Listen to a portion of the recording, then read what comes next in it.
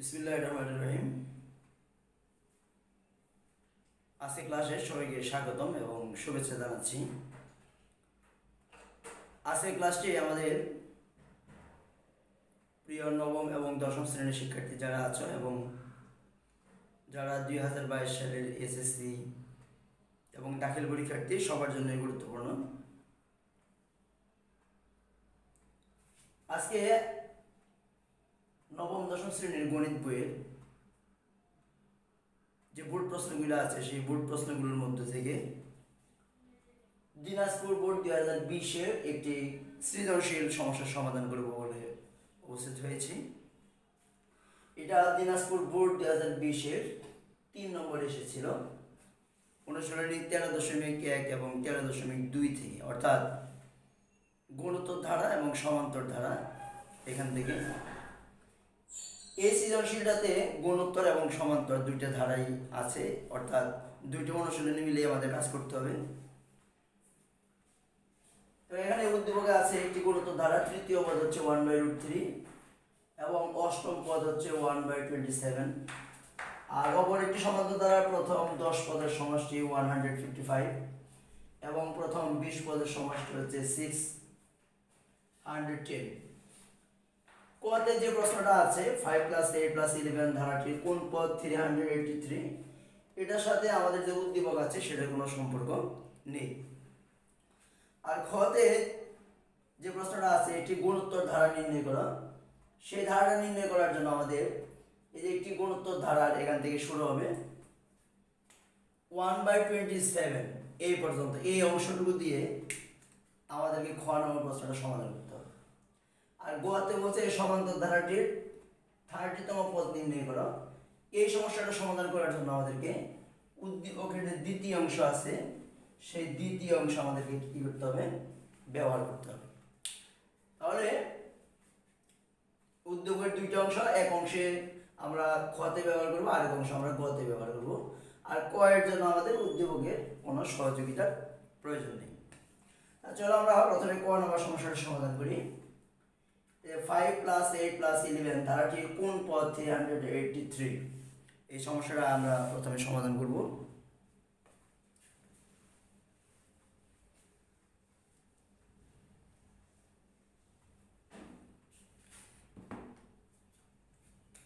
ক নম্বরে দেওয়া আছে ধারাটির প্রথম পদ ধারাটির প্রথম পদ এ ইকুয়াল টু প্রথমে আছে কত? ফাইভ এরপর ধারাটির, এখন একটা প্রশ্ন আসে যে আমরা এখন কি লিখব? গুণোত্তর ধারার ক্ষেত্রে আমরা লিখি কি? সাধারণ অনুপাত। আর সমান্তর ধারার ক্ষেত্রে আমরা লিখি সাধারণ অন্তর। এখন আমরা কোনটা লিখব? সেটা লেখার আগে আমাদেরকে বুঝতে হবে যে যে প্রশ্নটা আমরা সমাধান করতেছি, এটা কি গুণোত্তর ধারা আছে নাকি সমান্তর ধারা আছে? সেটা আমরা কীভাবে বুঝব? দেখো এখানে এই ফাইভ এবং এইট এই দুটার পার্থক্য কত? থ্রি এবং এইট এবং ইলেভেন এই দুটার পার্থক্য কত? থ্রি তার পার্থক্য যেহেতু সমান সমান আছে, তাহলে আমরা বলতে পারি এটা একটা সমান্তর ধারা। আর যদি পার্থক্য না থেকে, যদি অনুপাত সমান সমান থাকতো, অর্থাৎ এইটকে ফাইভ দ্বারা ভাগ করলে যাওয়া হবে? ইলেভেনকে এইট দ্বারা ভাগ করলে যাওয়া হবে? এই দুটার রেজাল্ট যদি একই রকম থাকতো, তাহলে আমরা সেটাকে বলব গুরুত্তর ধারা। তাহলে এটা যেহেতু বিয়োগ ফল সমান, তাহলে আমরা এটাকে বলব কি? সমান্তর ধারা। আর সমান্তর ধারার ক্ষেত্রে আমরা জানি সেখানে কি লিখতে হয়? সাধারণ অন্তর। অন্তর মানে কি? বিয়োগ ফল। তাহলে সাধারণ অন্তরটা আমরা লিখি। ধারাটির সাধারণ অন্তর ডি ইকুয়াল টু দ্বিতীয় পদ বিয়োগ প্রথম পদ eight minus five equal to three তোমরা ইচ্ছা করলে দুইটাই দেখাইতে পারো, আবার ইলেভেন মাইনাস এইট এটাও দেখাইতে পারো, কোনো সমস্যা নেই, দুইটাই দেখাইতে পারো। তো সাধারণত আমরা বের করে ফেললাম, এখন বলছে ধারাটির কোন পদ? Three hundred and eighty three কোন পদ? সেটা আমরা নির্ণয় করব। তাহলে মনে করি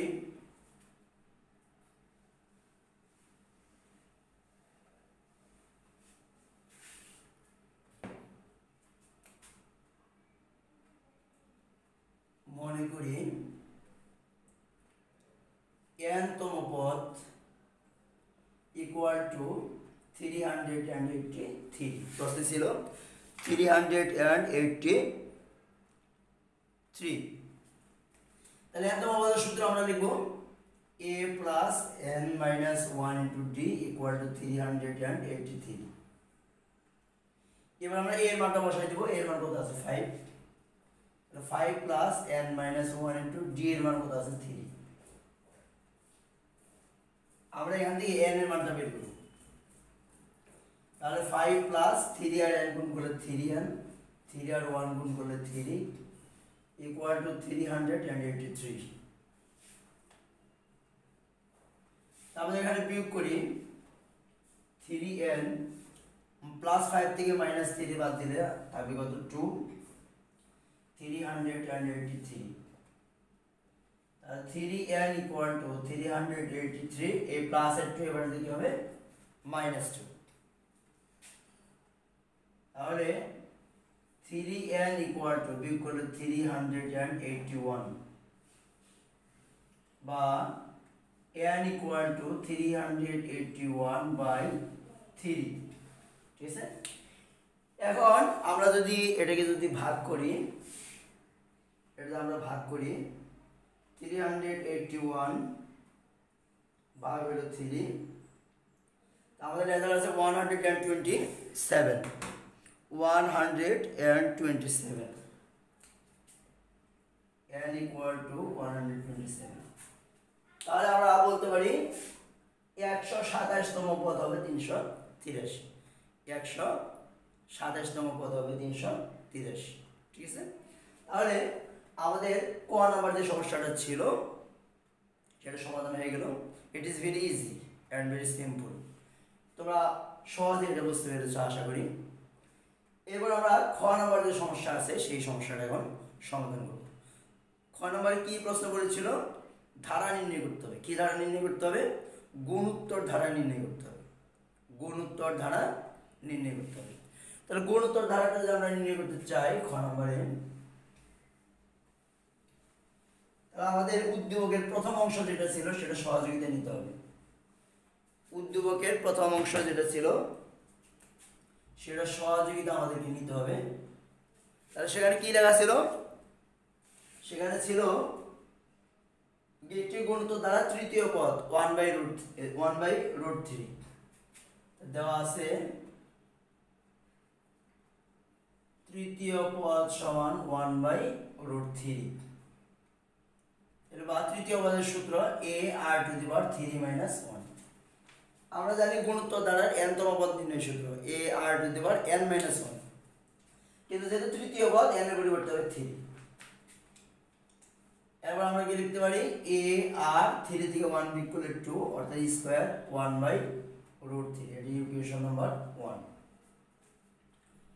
আরও কি কি দেওয়া আছে এখানে? অষ্টম পদ ওয়ান বাই টোয়েন্টি সেভেন অষ্টম পদ equal to one by twenty seven অষ্টম পদের পরিবর্তে আমরা কি লিখব? A R to the power eight minus one equal to one by twenty seven বা A R to the power eight থেকে ওয়ান গেলে কত থাকবে seven one by twenty seven equation number two এখন আমরা এই দুইটা সমীকরণ থেকে কি করব?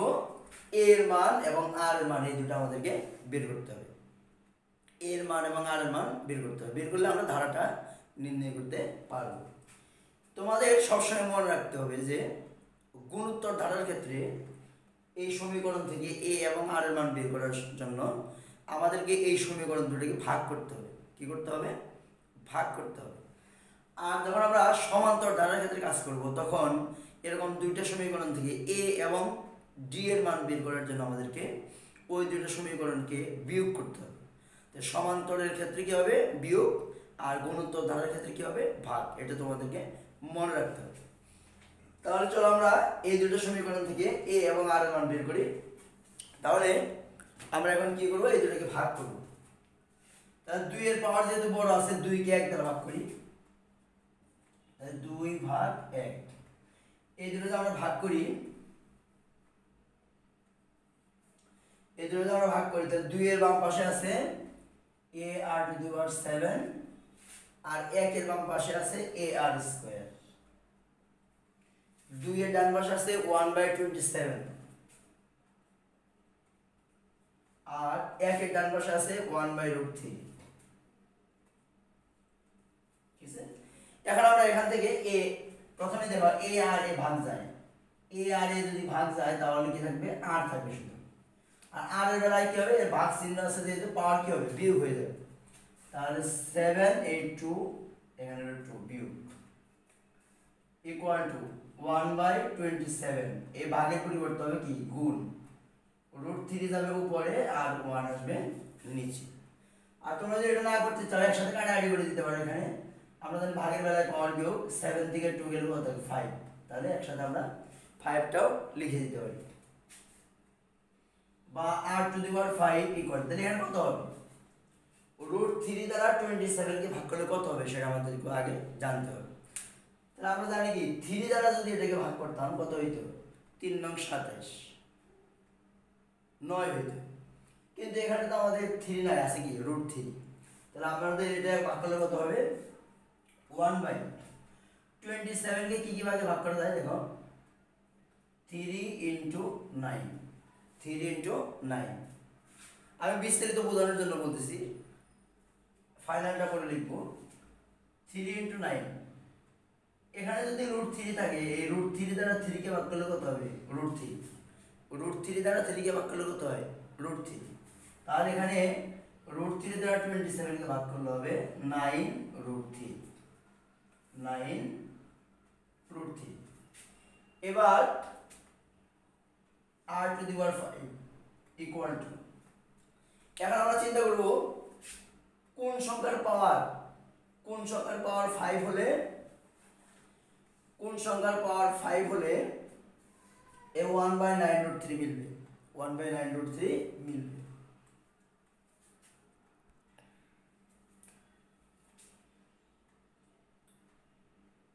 দেখো এখানে আমরা যদি one by root three whole to the power five. এটা যদি লিখে তাহলে নাইন রুট থ্রি মিলবে। কীভাবে? রুট থ্রি আছে কটা পাঁচটা। রুট থ্রি কটা পাঁচটা। পাঁচটা রুট থ্রি গুণ করলে হবে নাইন রুট থ্রি এটা আমরা যদি ভেঙে দেখাই, দেখো। Nine root three nine root three নাইনের পরিবর্তে লেখা যায় three into three into root three এই রুট থ্রির পরিবর্তে কি লেখা রুট থ্রি স্কোয়ার এই থ্রি পরিবর্তে কি লেখা যায়? Root three square into root three তাহলে দেখো এখানে রুট থ্রি কটা আছে? এই দুইটা দুইটা, চারটা আর একটা করে পাঁচটা। তাহলে root three whole to the power five অর্থাৎ নাইন রুট থ্রি পরিবর্তে লেখা যায় root three whole to the power five তাহলে এখানে নাইন রুট থ্রি যদি নিচে আছে, তাহলে নাইন রুট থ্রি পরিবর্তে root three one by root three whole to the power five সুতরাং আর এর কত উভয় পক্ষ থেকে আমরা ফাইভ ফাইভ যদি বাদ দিয়ে দিই, উভয় পক্ষ থেকে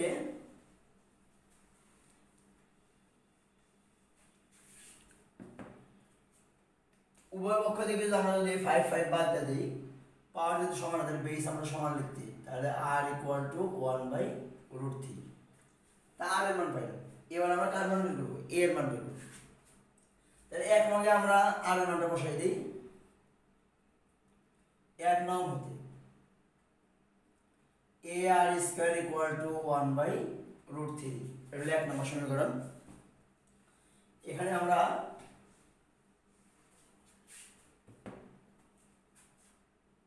আর এর মানটা বসাই দেব।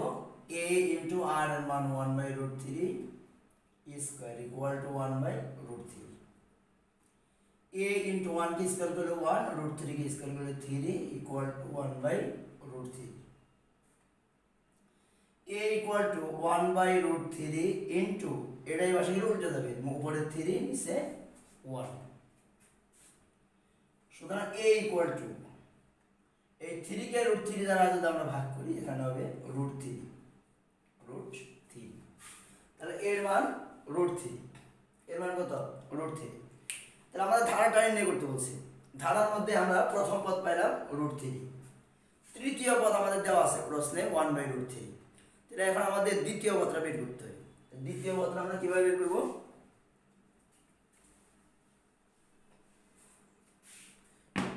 দ্বিতীয় পদটা আমরা বের করার জন্য লিখব দ্বিতীয় পদ।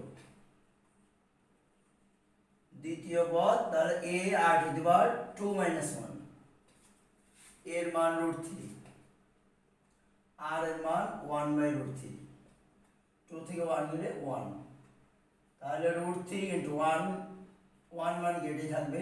রুট থ্রি রুট থ্রি বাদ গেলে হয়ে যাবে কি? ওয়ান তাহলে আমাদের প্রশ্নে যেটা বলছিল, এই ধারাটির ধারাটি নির্ণয় করো। কি করো ধারাটি নির্ণয় করো। ধারাটি নির্ণয় করব আমরা তাহলে? নির্ণয় ধারা। নির্ণয় ধারা।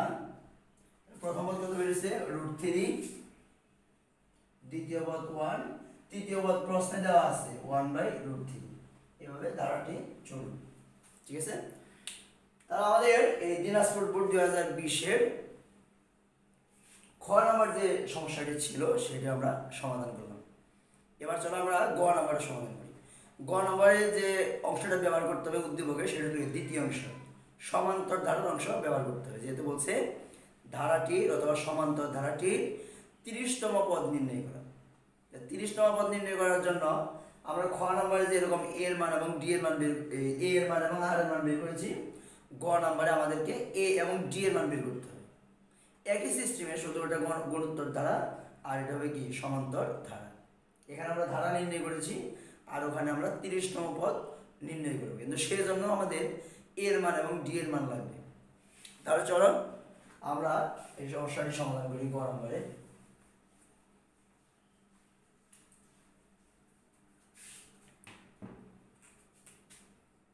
গ নম্বর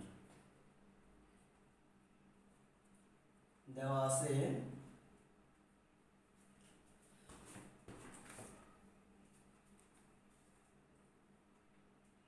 প্রথম দশটি পদের সমষ্টি, একশো পঞ্চান্ন। দশটি পদের সমষ্টি একশো পঞ্চান্ন। আর কি দেওয়া আছে? বৃষ্টি পদের সমষ্টি, ছয়শো দশ। বৃষ্টি পদের সমষ্টি ছয়শো দশ। এই দুটো তথ্য আমাদের এখানে দেওয়া আছে। আমরা এখান থেকে প্রথমে এ এবং ডি এর মান বের করব। কীভাবে? প্রথম শর্ত মতে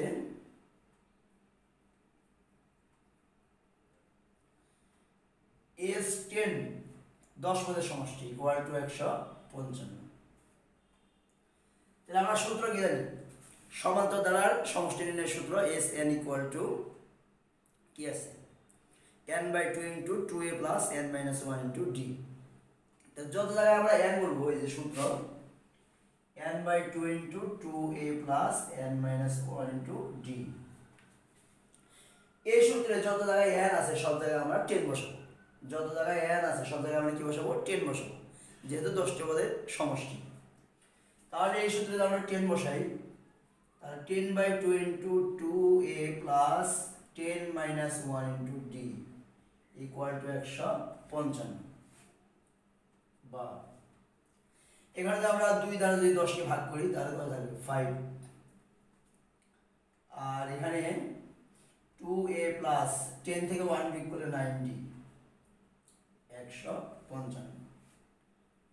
এরপরে two a plus nine d equal to এখানে ফাইভ আছে এখানে ওয়ান হান্ড্রেড ফিফটি ফাইভ উভয় পক্ষকে ফাইভ দ্বারা ভাগ করে দিই উভয় পক্ষকে যদি আমরা ফাইভ দ্বারা ভাগ করে দিই, একশো পঞ্চান্ন ভাগ হলো পাঁচ।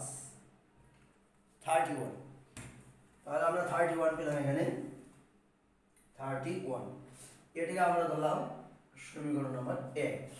এক নং সমীকরণ। এটা আমাদের এই প্রথম যে অংশটা ছিল, সেই প্রথম অংশের কাজটা শেষ হলো। এবার আমরা এই দ্বিতীয় অংশ দিয়ে কাজ করব। বিশ পদের সমষ্টি। দ্বিতীয় শর্ত দ্বিতীয় শর্ত মতে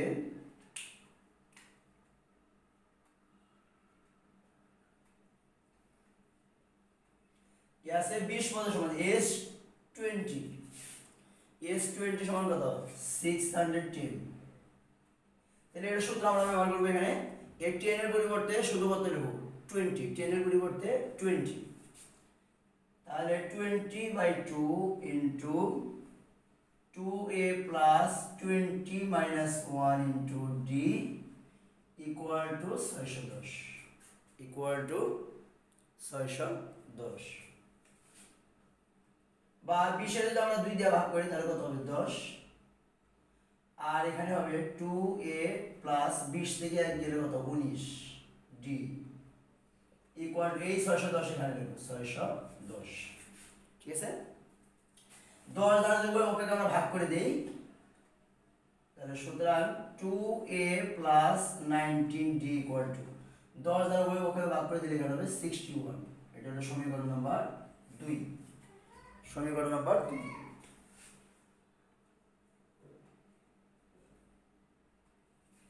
সমীকরণ নাম্বার দুই।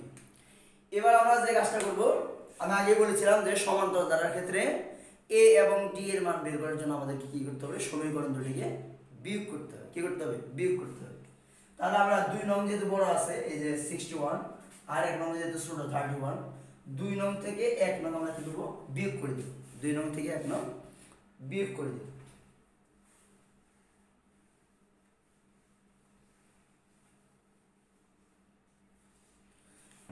দুই নং থেকে এক নং যদি আমরা বিয়োগ করি, তাহলে দেখো দুই বিয়োগ এক। দুই এর বাম পাশে কি ছিল? পুরোটাই লিখতে পারি আমরা একসাথে। আর একই ছিল? Two a ninety thirty one তো বিয়োগের চিহ্ন পরিবর্তন হবে। এখানে মাইনাস এখানে মাইনাস এখানে মাইনাস তাহলে টু এ আর টু এ বাদ যাবে।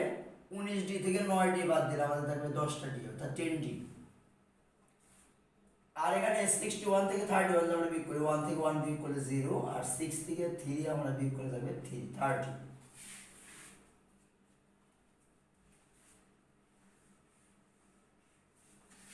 এখন উভয় পক্ষকে আমরা কি করব? দশ দ্বারা ভাগ করে দেব। উভয় পক্ষকে দশ দ্বারা ভাগ করে দিলে ডি ইকুয়াল টু থ্রি দশ দ্বারা দশে ভাগ করে এক, তাহলে দশ চলে গেল। আর তিরিশে দশ দ্বারা ভাগ করে তিন। অথবা তোমরা এক লাইন বেশিও লিখতে পারো এভাবে d equal to thirty by ten সুতরাং ডি ইকুয়াল টু থ্রি এভাবে লিখলেও হবে। দুইটাই সঠিক, তোমরা যে নিয়মে লেখো, সমস্যা নেই। এবার আমরা ডি এর মান পেয়ে গেছি, এবার এ এর মান লাগবে। তো এ এর মান পাওয়ার জন্য আমরা কি করব? এক নম্বর সমীকরণে ডি এর মান বসাই দিব। তাহলে আমরা লিখতে পারি এক নং হতে এক নং হতে।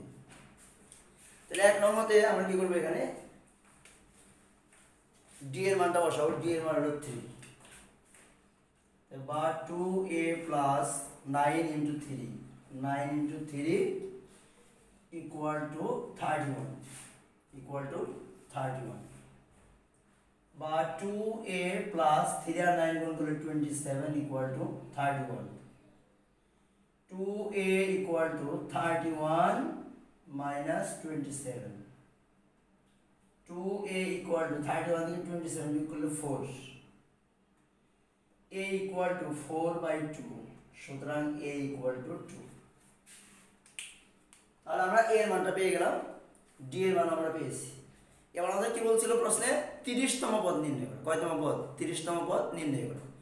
তিরিশতম পদ নির্ণয় করার আগে আমাদেরকে এন পদ এন সংখ্যক পদের অথবা এনতম পদ নির্ণয়ের সূত্র আগে আমাদেরকে জানতে হবে। তোমরা নিশ্চয়ই জানো এনতম পদের সূত্র a plus n minus one into d এটা হলো সূত্র। এটা আমরা জানি আমরা জানি এনতম পদ a plus n minus one into d এটা হলো সূত্র। A plus n minus one into d আমাদের তিরিশতম পদ বের করতে হবে। এনতম পদের সূত্র নিলাম তিরিশতম পদ আমাদেরকে বের করতে হবে। তা তিরিশতম পদ যদি আমরা বের করতে চাই, তাহলে এখানে এনের পরিবর্তে হবে থার্টি তাহলে থার্টিতম পদ ইকুয়াল টু এর পরিবর্তে এর মান কত? টু প্লাস এন এর পরিবর্তে কত হবে? থার্টিতম পদ তাহলে হবে thirty minus one into d এর মান। ডি এর মান আমরা কত পেয়েছিলাম? থ্রি তাহলে ডি এর মান হবে এখানে ইন্টু থ্রি ইন্টু থ্রি তাহলে টু প্লাস থার্টি থেকে ওয়ান বিক করলে কত হবে? টোয়েন্টি নাইন ইন্টু থ্রি তাহলে টু প্লাস থ্রি আর টোয়েন্টি নাইন তিন নম্বর সাথে সাত হাতে দুই, তিন নম্বর ছয় আট দুই, আট। তাহলে এইটটি সেভেন আর টু যদি আমরা যোগ করি কত এইটটি নাইন এটা অ্যান্সার সুতরাং আমরা এই থার্টিতম পদ আমরা বের করলাম এইটটি নাইন তাহলে দিনাজপুর বোর্ড দুই হাজার বিশের দিনাজপুর বোর্ড দুই হাজার বিশের যে তিন নম্বর সমস্যাটি ছিল, সেটা আজকে আমরা সমাধান করলাম।